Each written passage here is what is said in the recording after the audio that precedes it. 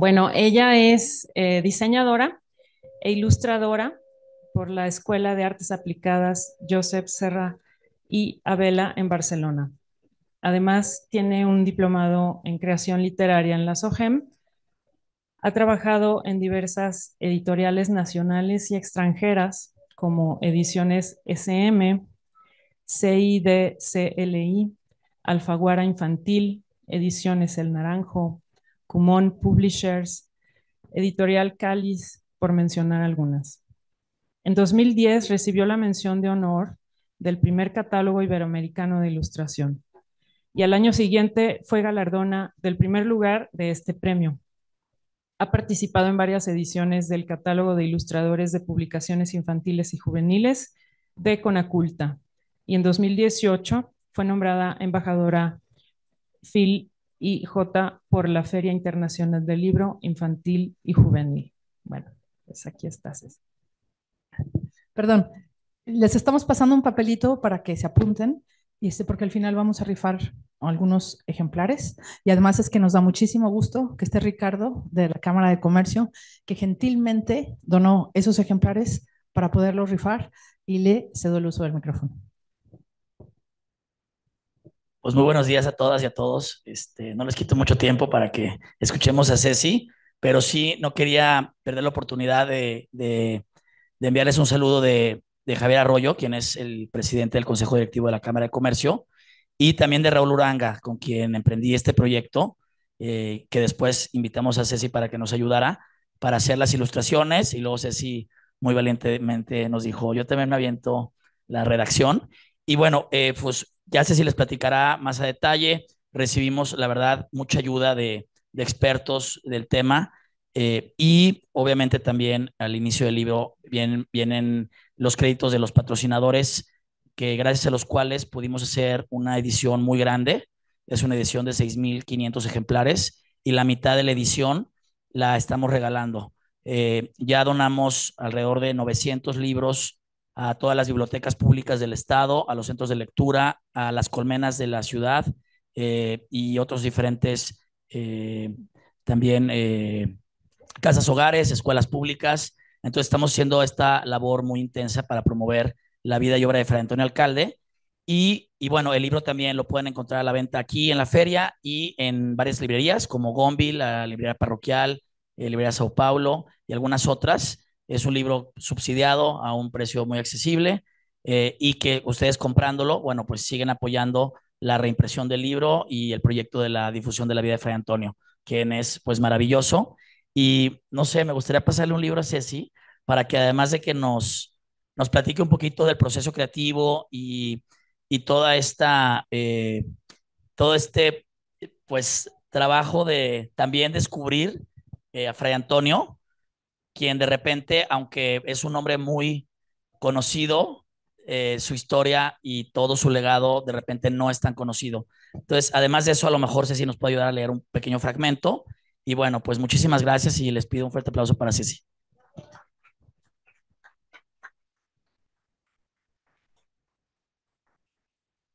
Bueno, muchas gracias por estar aquí. Eh, voy a hacer una plática como entre cuates, porque la verdad es que no me encanta esto de, platicar en público, pero eh, les voy a contar un poco la historia. Eh, a mí me invitó Ricardo el año pasado a hacer un libro de Fray Antonio Alcalde y la mera verdad es que cuando me dijo que el, tema, yo dije, ¿cómo? Fray Antonio Alcalde, yo sabía que había sido una persona importante para la ciudad, que era un fraile eh, y que había una calle muy importante, perdón mi cultura, pero hasta ahí no sabía mucho más. O sea, bueno, el santuario medianamente conocía, pero no tenía idea que Guadalajara le debe muchísimo a él. Entonces eh, dije que sí valientemente porque también no soy muy, muy, muy religiosa, entonces me aventuré en, en hacer un libro de un fraile y la verdad es que eh, fue un proceso súper, súper, súper interesante. Este, eh, tuvimos que leer muchísimo, tuvimos mucho apoyo de, bueno, se metió un poquito el padre Tomás, que sabe mucho, Tomás de Híjar, este, que me ayudó como a hacer, a mandarme cosas, pero luego también era lectura de muchísimos libros eh, donde se contradecían ciertos datos y bueno, eh, pues el proceso fue como paso a paso. Ricardo ayudó muchísimo, o sea, realmente fue el editor. Él estuvo atrás de todas las ilustraciones del texto, limpiando comas. Entonces, gracias Ricardo otra vez. Eh, y al final creo que el proyecto, digo, cuando uno viene a presentar un libro, más un libro de niños, yo creo que los libros eh, vuelan solos. Entonces, eh, ¿qué les podría contar? Les podría contar que, o sea, como anécdotas, porque en realidad, ¿qué hizo Fray Antonio? Yo creo que ya más o menos sabemos, o sea, le debemos el santuario, el hospital civil, eh, las cuadritas, que fue la primera vecindad que hubo en Guadalajara. Y bueno, lo demás está en el libro, hay muchísimas cosas. Mm, cuando empezamos a hacer el libro, la primera parte complicada fue el personaje, porque hay unas cuantas imágenes de Fray Antonio que donde sale como con un, un, gesto como muy duro, porque era una persona que llegó aquí eh, mayor, llegó a los 71 años, este, y yo veía fotos y yo decía, híjole, ¿cómo le voy a hacer para representar a Fray Antonio como realmente es? Porque si lo dibujo exacto como es, su personalidad era de rasgos duros. Entonces, bueno, nos tardamos unas cuantas semanas escogiendo eh, a un Fray Antonio. Justo ayer alguien me decía, oye, no se parece del todo a, Fray Antonio. Y yo, bueno, e, es como mi representación de Fray Antonio, o sea, lo traté de hacer más apegado a mi realidad de como yo lo, lo, lo, veía en todas, en todas las lecturas. Este, bueno, fue, como les digo, una investigación así como de meses. Eh, me ayudó también José Manuel Mateo, que es un escritor muy conocido para la redacción del texto, en la corrección de, estilo. Y, eh, pues, ¿qué más? Este, ¿qué, más les puedo contar? Me gustaría que más fuera como una especie de plática. Puedo contestarles todas las preguntas que quieran. No sé si alguien tiene preguntas sobre el libro.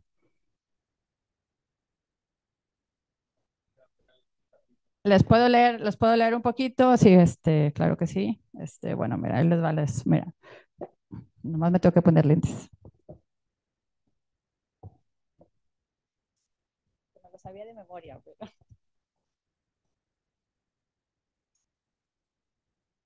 Ah, ¿no? Ah, ahorita en el libro vas a ver.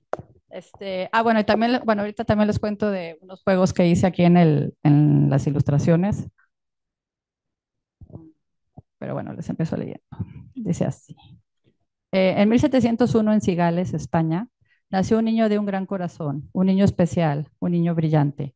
Y aunque se hizo mayor como todas las personas, él siempre conservó la energía y la bondad de sus primeros años. Ese niño se llamaba Antonio, como su tío, el párroco de Cigales.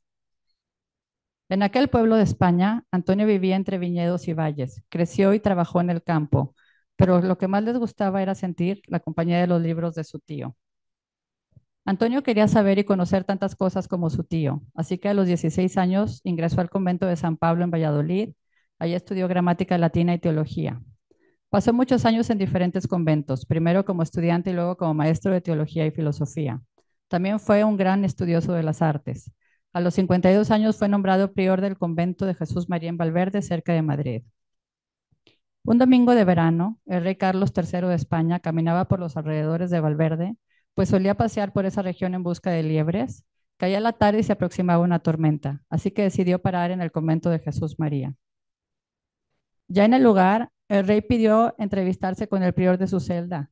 Al estar allí se sorprendió. ¿Cuánta bondad, cuánta austeridad y devoción hay aquí? pensó. Y después preguntó, ¿y esa calavera? Es un recordatorio de que el hombre solo está de paso por la tierra, explicó Fray Antonio, que desde hace mucho tiempo era fraile.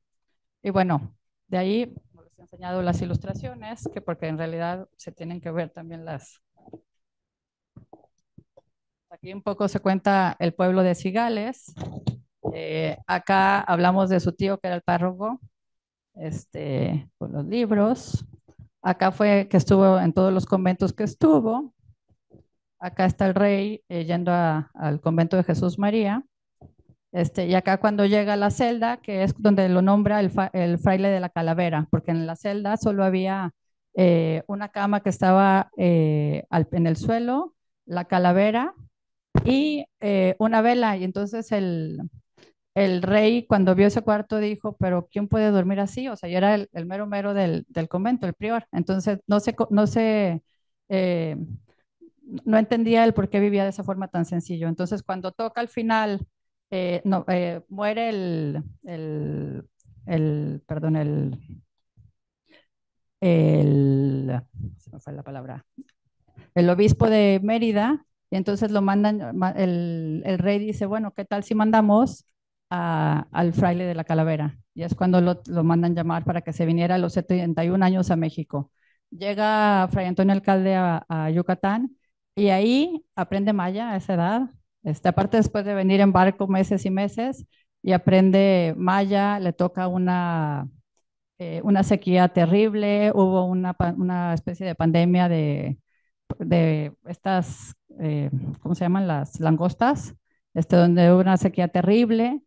Eh, y luego lo mandan llamar a México y estando en México después de meses y meses de cabalgar en burro para llegar a México, eh, ahí el, el, virrey le dice, oye, pues eh, acaba de morir el, ahora el obispo de Guadalajara, eh, te vas a Guadalajara y fue así que llegó aquí eh, a los 71 años. Y cuando llegó aquí se encontró una Guadalajara eh, que no tenía, que era muy, muy, muy pequeña, súper pobre, donde le tocó que no había hospitales, le tocó la, la pandemia de la, la bola se llamaba, este, donde murieron muchísimas personas y fue así que hizo el hospital civil, que ahorita sigue funcionando y demás. Este, ya, bueno, toda la historia está en el libro. Eh, y bueno, generalmente cuando ilustro me gusta jugar para los niños eh, con detallitos como este pájaro, que es un poco como el, alter ego que, de, de, él. Entonces quise que lo acompañara en, toda, en todas las páginas del libro, por ahí lo van a ver. Y busqué porque es un libro que cruza el Atlántico de, norte a sur y es el único pájaro que puede como cambiar de, de un lugar a otro, como Fray Antonio, eh, y que es como el símbolo, el símbolo como del alma que, que vuela y que ayuda a las demás personas. Murió ya de viejito, murió muy grande a los 90 y, no, 91 años, creo, este, ya, ya, por, ya por mayor. En 1900, no, no bueno, murió. en realidad murió antes. Sí, porque él nació en 1700, aquí, en 1701 y murió en 1792, de 91 años. O sea, faltaron muchos años. En cuanto al lenguaje y las palabras que utilizas en el gracias. ¿Cómo fue el trabajo de investigar y leer tal vez libros o cuestiones académicas y pasar ese lenguaje para personas. Sí, pues, ese fue todo un tema. Ese fue, yo creo que el, el, reto más complicado de todos, porque para empezar el tema eh, se presta más como para adultos, porque digo, hay, hay biografías de Fray Antonio Alcalde, pero todas para adultos y la verdad es que muchas son así como muy, muy grandes porque hizo cantidad de cosas y yo las leía, yo decía, ¿cómo voy a poder... Eh, no bajar el lenguaje, porque no, no, podría ser bajarlo, pero sí hacerlo entendible y hacerlo entretenido. Entonces, eh, sí fue limpiar, limpiar, limpiar y, y, acotar las frases para que fuera entendible. Hay muchas cosas que, que no se dicen y que se dicen en los dibujos. O sea, muchas veces en los libros ilustrados lo que tratamos es de no repetir lo que se está diciendo para que la imagen hable por sí sola. Entonces, un poco era el fin. Y luego había cantidad de palabras que ni yo conocía bien, ¿eh? Entonces al final del libro eh, pusimos una especie de glosario eh, para que todos los que no sepan, aquí está. Porque sí hay varias cosas, cátedras, cigales, convento, eh, devoción, diócesis. Hay muchas palabras que están en el libro, pero pues que igual un niño que es una diócesis, entonces está aquí explicado qué es para que funcione así. También hay, bueno, en el libro también al final, esto aquí, eh, Ricardo, eh, queríamos que fuera un poquito interactivo, entonces este, en las últimas páginas hay una especie como de recorte usted y haga una especie de collage. Y luego acá eh, hay una página para que los niños eh, dibujen algo que puedan hacer por la ciudad, porque como el, Fray Antonio fue el mayor benefactor que ha tenido Guadalajara, este, ¿qué, podías, qué, qué, pueden hacer los niños? ¿Qué, ¿Cómo podemos ayudar para que los niños, eh, no sé, se imaginen cosas y ayudar para tener una mejor ciudad. O sea, algún buen dibujo. Decía una pregunta. Este, ¿Está pensado para un rango de edades?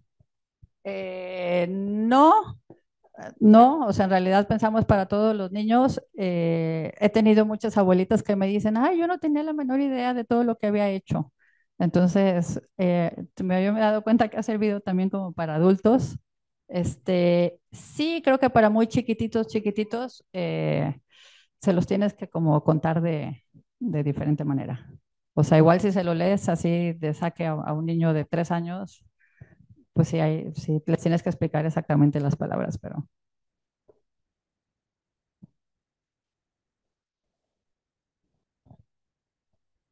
Y, prácticamente eso fue lo que nos pasó, que se lo dimos a las niñas, pues tenemos de varias edades, y a las más pequeñas le íbamos explicando, pero al mismo tiempo nosotros, eh, mi esposa y yo, pues no sabíamos nada de él, ¿no? Entonces nos sorprendió, pues eso de que es el más grande benefactor y todo lo que hizo y a la edad que tenía, ¿no? Sí. Entonces, la verdad que, que para yo lo disfruté también, ¿no? Ese libro. Muchas gracias. Sí, yo creo que es, es, es, lo bonito del libro, que en realidad es, o sea, es un libro infantil, porque, pero últimamente está pasando mucho, aquí no me dejarán mentir, está pasando mucho con los libros infantiles, que se dice ser infantiles, pero en realidad este, pues, son como libros para todas las, las edades.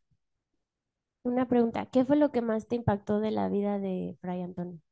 ¿Qué fue lo que más me? Ay, este, yo creo como su bondad. O sea, yo creo que una persona que no era de, o sea, que al no, no ser mexicana, bueno, en aquel entonces era la Nueva España, pero no ser de acá y venir a entregar todo, todo, todo, todo.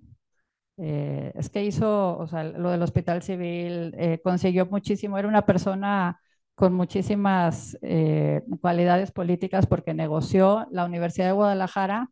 Ya medio se había, o sea, ya había como pláticas para que se hiciera, pero no se había logrado hacer y gracias a él se fundó. Entonces, realmente, o sea, si vemos que es la Universidad de Guadalajara, también la primera imprenta, este, él también ayudó a que se hiciera, el hospital civil, el santuario, las cuadritas, que fue el, la primera eh, como eh, este, viviendas que hubo, vecindad que hubo. Eh, luego ayudó cuando la, cuando la bola, la peste, que, a, a, conseguir dinero. La primera escuela pública para niñas de, de, de la Nueva España. Este, se dice también que recorrió toda la diócesis, que en aquel entonces la diócesis no era solo Jalisco, o sea, llegaba hasta Luisiana y parte de Estados Unidos. Entonces, recorrió todo para ver todas las necesidades. Es que está como, es todo, o sea, su, su bondad. Este, pues no sé, no sé si.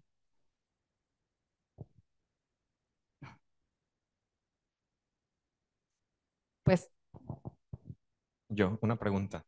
De todo el contenido que está en el libro que lo podemos encontrar, ¿cuál es ese elemento que destaques para que nosotros lo podamos adquirir o cuál es ese elemento que destaques del cual podemos aprender del libro?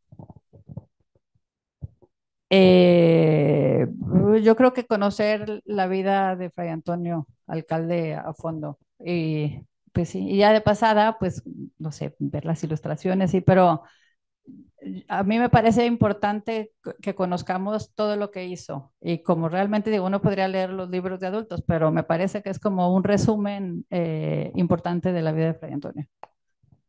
Aparte con ilustraciones ameno.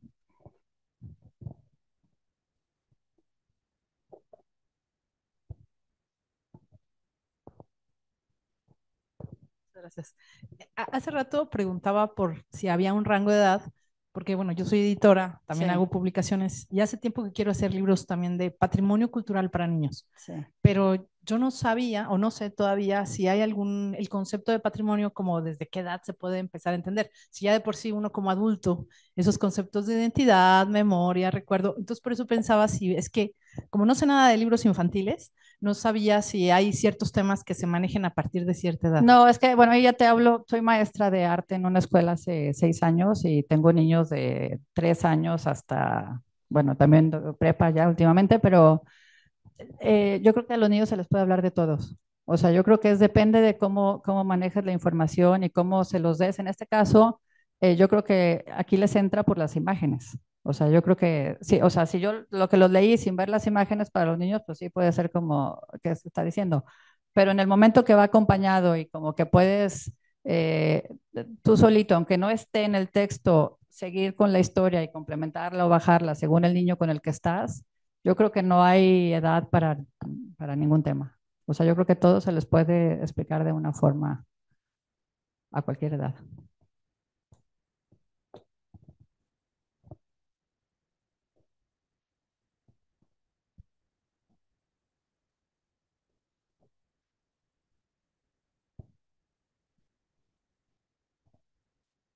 Hola, buen día.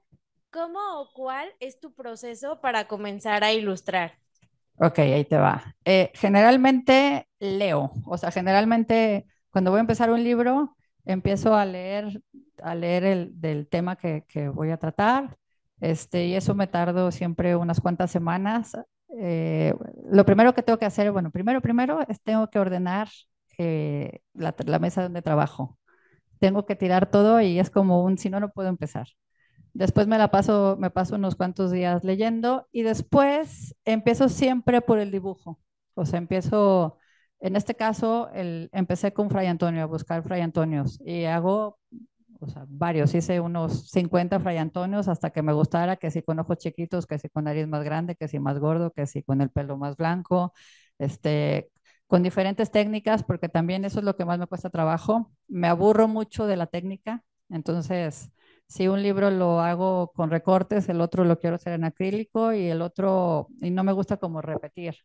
Entonces, generalmente, bueno, últimamente estoy tratando como de trabajar eh, digital, o sea, primero hago el dibujo, luego lo escaneo y luego digital, pero la parte que es manual es donde me tardo muchísimo, o sea, es donde tengo que decidir. Ya que logro encontrar como el lenguaje de, de la primera técnica, este, entonces empiezo eh, con el personaje, ya que tengo el personaje principal, hago una ilustración para ver como el tono. Y nunca, de ahí yo creo que estoy loca, pero nunca empiezo por la primera. Siempre, en este caso, empecé, eh, la primera ilustración fue esta. Y aparte, eh, bueno, en esta a mí es cuando lo de la bola, cuando, la, cuando se enfermaron, que hubo una epidemia, este, y para mí me parecía como de las más fuertes, este, porque estaban muchos enfermos, entonces no sabía cómo poderles explicar a los niños pues, que se habían muerto varias personas sin, sin poner cruces y sin poner algo. Entonces era como él viendo aquí cómo pasaba y el, el pajarillo. Ahí fue donde decidí que iba a poner el pájaro en todo. Este, y empecé aquí, que jugué con tintas y acuarelas, eh, y luego, y luego escaneé con papeles. Entonces ya a partir que tengo la primera imagen, ya de ahí ya como que todo va saliendo. En este caso, en este libro en especial, eh, primero salieron todas las ilustraciones y luego salió el texto. O sea, tenía apuntes así como muy, pero no tenía bien definido. Y yo ya tenía todas las ilustraciones y el texto estaba así como se tenía que corregir todo completo. Ah, este, claro, plática. Es que luego es que hay cantidad de detallitos, este, eh, en todos lados, Fray Antonio trae aquí eh, una bolsita, este, que en realidad no sabemos bien si, si realmente la traía, pero esta bolsita es porque él se la pasaba, era tan, tan sumamente organizado y logró conseguir eh, tanto dinero de, de, de, las personas para poder hacer las cosas, que era como la bolsita para explicar, pues que realmente ahí tenía como su, las bolsitas de las cuentas y de y lo, donde iban metiendo todos los apuntes para poder hacer todo. Entonces, eh, creo que en algunas hasta sale como con una especie de pluma, ¿verdad? Era la... Y bueno, en este libro eh, hubo varias cosas que teníamos que eh, cuidar, porque hasta, hasta el tamaño de la cruz, o sea, que todos en, en todas las imágenes estuviera medianamente del mejor tamaño. Esta otra imagen eh, es cuando hubo cantidad de muertos también, que los hospitales no se daban abasto, entonces era como, como pues, nada más representar la sombra de, de la tristeza de él. Entonces, yo creo que lo divertido de hacer libros infantiles es como todo lo que narras sin, sin palabras, o sea, lo que narra la imagen.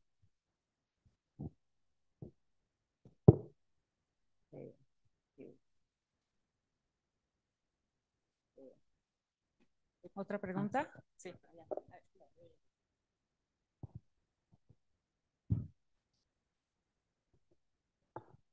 Hola, eh, pues yo estoy aquí por, por esas buenas casualidades de los días.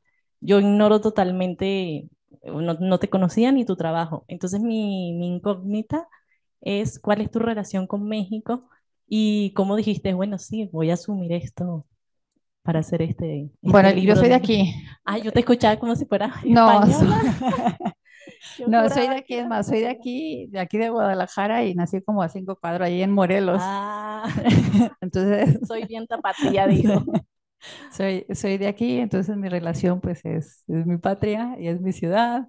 Este, ¿y cómo llegué a ilustrar libros? Eh, estudié en España, espero no tener acento español porque estudié en el, el mil, en 1909, yo regresé en el 2000, o sea que ya tengo 24 años estando aquí.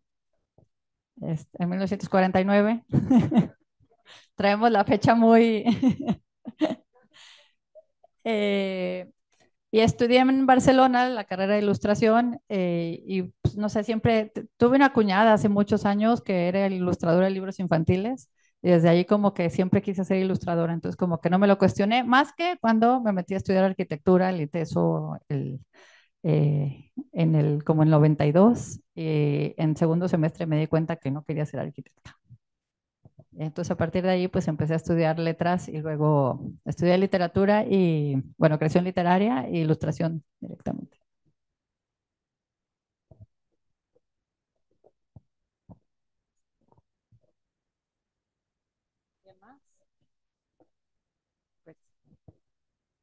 Bueno, pues muchísimas gracias, Cecilia. Tu trayectoria es impresionante y te agradecemos mucho estar aquí porque este, es increíble